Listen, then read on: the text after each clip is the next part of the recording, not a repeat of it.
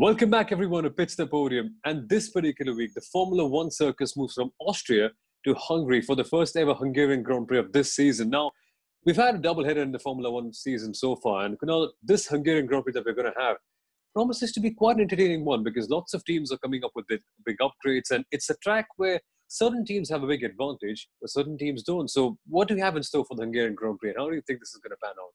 I think it's going to be another really exciting weekend. You know, the fact that it's a triple header only makes things more fun. You know, like Lewis Hamilton said, uh, you know, when he won in uh, won the Styrian Grand Prix, that you know he would he can keep doing back to back races, uh, you know, all all through the year. I think that holds true for you and me as well. We can keep doing back to back videos as it goes, but you know, on a more serious note, triple header, great. Uh, you know, it's going to be a hot and uh, humid Budapest. So it'll be interesting to see how drivers are able to cope with the, the physical challenges as well. Not that they can't, but it's just going to be something that's going to be an additional factor, especially because of the long break and suddenly you are into a triple header and, and the likes. Also interesting to see how you know team members are going to cope with uh, you know with the with the pressures that a triple header bring in because let's remember for the drivers it's just getting into the car driving and parking it but for team members, there's constant work literally through each day of the week leading up to a Grand Prix weekend. But uh, that's not about it. I know you and I made a list of five things, uh, you know, that we should look forward to. So you want to start by reading out the five things that you know our viewers can uh, expect uh, this weekend. Absolutely, there are quite a few things to watch out for for this Hungarian Grand Prix to expect, and it's a circuit that's very mentally challenging. But there are quite a few challenges surrounding the world of Formula One at this stage as well. And the five of our topics have a lot to do with the political scenario of Formula One and also what happens on the track. So, firstly, we begin by speaking about Ferrari and Mattia Binotto. All the upgrades are bound to be coming in for the Hungarian GP weekend. And they didn't even have a press conference in Austria. So, we're going to have a quick word about that. We're going to have a word about the, pro, uh, the protest, I'm sorry, that Renault have made on Racing Point. And the interesting thing is, that Racing Point and Renault are going to be in the same press conference together. I think that's going to be sparks flying over there. And then, of course, we move on to speaking about the form factor for all the drivers and especially the battle at the very top. And we have to move on to speak about the pecking order with all the teams.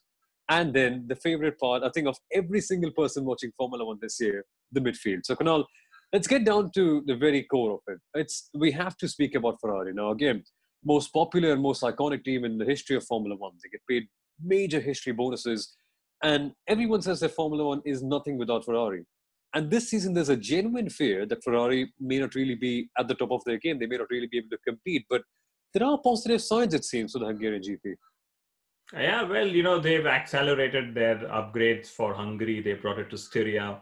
I assume that you know they would have had lots of data uh, picked up from at least the free practice sessions uh, you know, and they they would have probably understood how to make their upgrades work better. I think the big loss from Ferrari's uh, double DNF, especially literally, you know, in the first few laps of the race, was that they could have picked up more data on how their upgrades are performing in a race situation and the like. So they've literally been, you know, you know, put on the back foot, not just in terms of constructors championship points, but even in terms of just gathering more data to sort of understand their package and make it better. But the most interesting part is going to be that uh, you know this is going to be the first time Ferrari are going to be facing the press after their double DNF, um, you know, in in Austria, and it, it, will be interesting to hear what the teams have to say, uh, what the drivers have to say, and the likes. And uh, I'm I'm pretty much looking forward to it because you know there there weren't direct blame games that were made, especially by the team, even though Charles was you know mature enough to accept that it was his mistake but definitely Ferrari's press conferences are going to be extremely headline worthy. So look out for those guys. Absolutely. I mean, they're a team that often send out cryptic messages, but this one, when they're going to be in the press conference, the official one, I think it's going to be quite interesting to see just what they say about the whole scenario and how they're planning to go forward. But Kunal, we also have to speak about another couple of people who will be there at the press conference. So Otmar Szafnauer and Cyril Abiteboul. Now we know for a fact that Cyril Abiteboul is a man never shy, who, shy, who never shies away. I'm sorry from a controversy. We saw him at the centerpiece of Drive to Survive, and here we are again. Now that Renault has made a protest on Racing Point, so we'll discuss the whole matter about Racing Point apparently copying Mercedes car in a different video. But about the press conference, Kunal, how do you think that's going to go down? Because we know that Cyril is not a man of light words. He, he, he can be pretty feisty at times. He can be so, and I am looking forward to the two team bosses uh, sitting down in front of the world media and addressing questions. I'm sure both teams believe that they're right in in their approach and in their uh, in their reasons to protest or you know defend their protest. But uh, it's it's going to be an interesting uh, you know position that Formula One ends up taking as a sport when it comes to customer teams and how to sort of approach this problem. And uh, personally speaking, I, I you know I'm loving the fact that Racing Point is as quick as they are because it's just making for so much more interesting uh, you know racing uh, you know on tracks. And uh, you know that said it of course needs to be within the the existing regulations and the law. And you know in in some way i'm sure cyril and otmar you know otmar being my former boss at force india they'll also be pleased that you know this is a very highly controlled media environment with, with you know questions being taken on Thank Zoom goodness. and, and email and the likes but uh, overall, I think the midfield uh, battle is going to be as interesting as the battle between Red Bull and Mercedes. Like we saw, you know, Red Bull throwing multiple protests at Mercedes, you know, in the first round. So it's it's uh, you know it's all up for the fourth place in in the constructors championship, and I absolutely understand why Renault probably want to get some more clarification, uh, you know, with regards to the legality of Racing Point's car. Come on, it's not a clarification, is it? It, it? They're just trying to outlaw the car, but whatever it is, gamesmanship is back after a long time, and thank goodness it is. And it just adds a different element into the world of Formula One. And I think, Kunal, this straight away leads us to our next discussion point, which has to be the midfield, because normally when you come into a Formula One season, you focus on the top teams. You focus on the battle for the championship between a Hamilton and Hamilton's and a Vettels and a Verstappen's. But this year, at least in the first couple of Grand Prix, which happens to be at least for now, the one fifth of the opening season, it, I think it's just delivered far more than we all expected it to. I mean, we knew for a fact that McLaren, Renault, and Racing Point would be close, but the kind of action that they have provided us so far, it's been incredible. So, Hungary again, it's a small track, tight track. It, it's one with a lot of medium-paced corners and some slow ones as well. And it's not. It's a very mentally challenging circuit on the driver's perspective. So, in terms of the teams, how do you expect things to pan out in, in terms of the performance? you know in firstly we we need to state this up front and this is data that you and i you know discussed before recording the video so i probably think ferrari will be leading the midfield battle okay we've seen them relegated to the that's midfield. a bold statement yeah but i also i'm get, sure their fans would like it i'm sure their fans would like them being called as a part of formula 1.5 yeah so you know for all ferrari fans who are disappointed with their team's performance I think Hungary might just be that one circuit which aids the, the performance of the SF1000. And I say this because, you know, data from the two Austrian Grand Prix showed that Ferrari were actually really quick in the medium to low speed corners. It's something that even Lando Norris ended up saying, but I'm not making my basis, you know, on, on Lando's statement. Uh, I, I happen to check the data that came out, uh, you know, by Formula One. And, uh, you know, with just an 800 meters straight, all the loss that you know Ferrari probably have on the long straights, given the the issues around their power units. Uh, you know they, that probably gets a little stunted. So I would assume that you know Ferrari will be uh, you know hopefully breaking out from the midfield battle and challenging you know Mercedes and and Red Bull Racing uh, for top honors in on Sunday. Of course, it's it's a very ambitious statement, but I'll put it this way that more Hungary than any other circuit uh, on the calendar, at least at yeah. this moment, is where Ferrari could have their chance.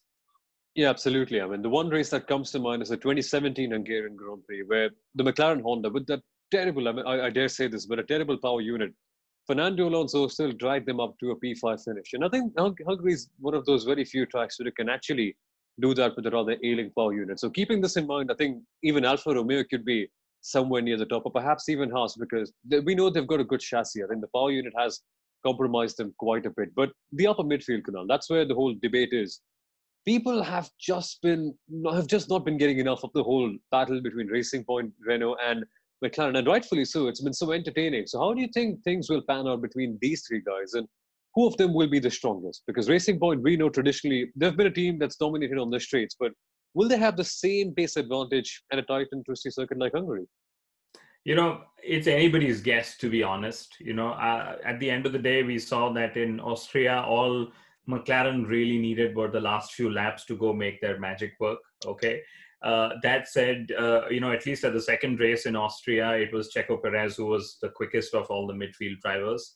So in Hungary, I'll just be extremely pleased if the same battle continues to exist, you know, yeah, and and then it just gives us a, a lot more entertainment than you know the ones that we've been missing at the front of the field. So I get this feeling that it's it's really tough to probably make a guess.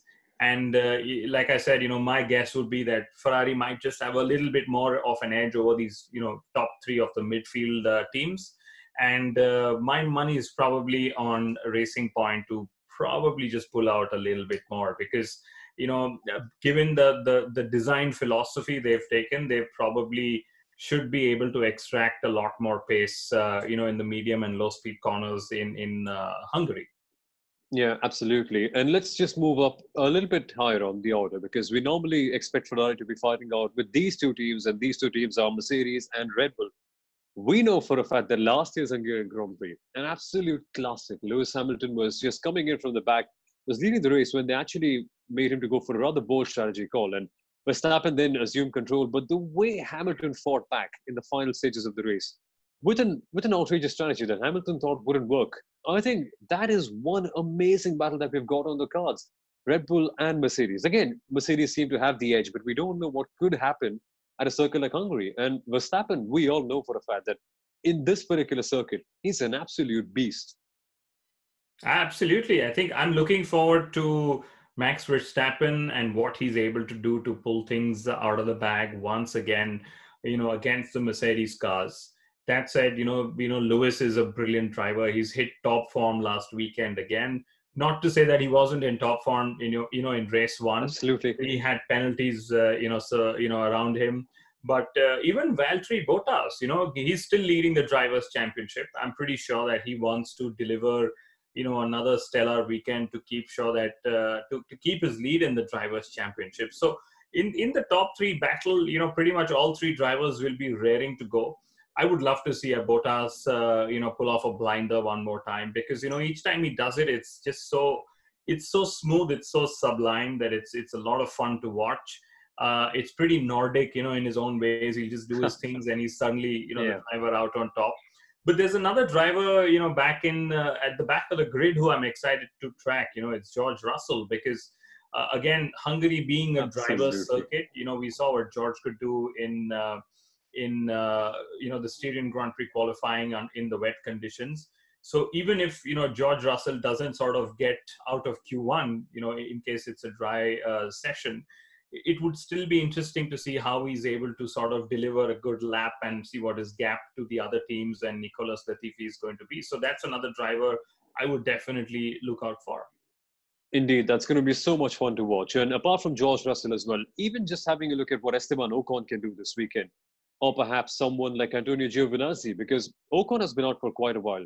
This is a proper driver's track where your engine doesn't really matter as much. And we know that Renault has a bit of an ailing power unit. So what can he do over here? That's going to be interesting to watch. What can Giovinazzi do? Because Alfa Romeo, again, having the same Ferrari power unit issue.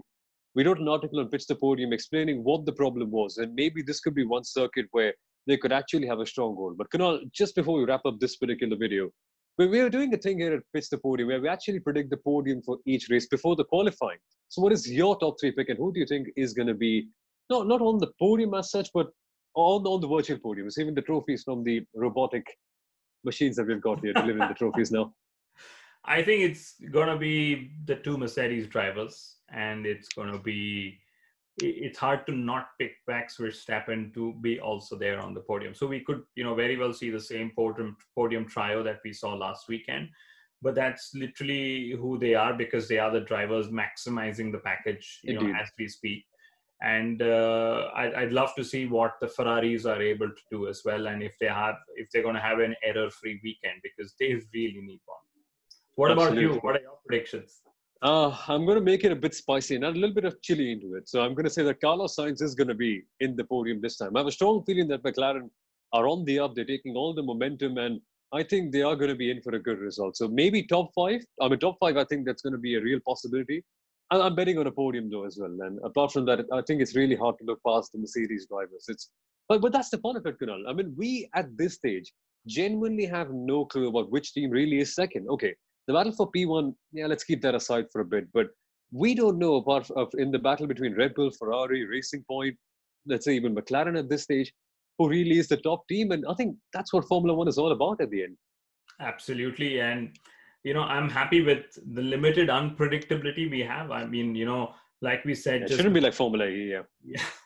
Yeah, exactly. And, you know, I'm, I'm happy with the limited, you know, racing that we get. And when I say racing, is in, of course, we get lots of racing with triple headers and the likes. But, uh, you know, we know that it's going to be Racing Point versus, say, Alexander Albon. Could that, you know, repeat?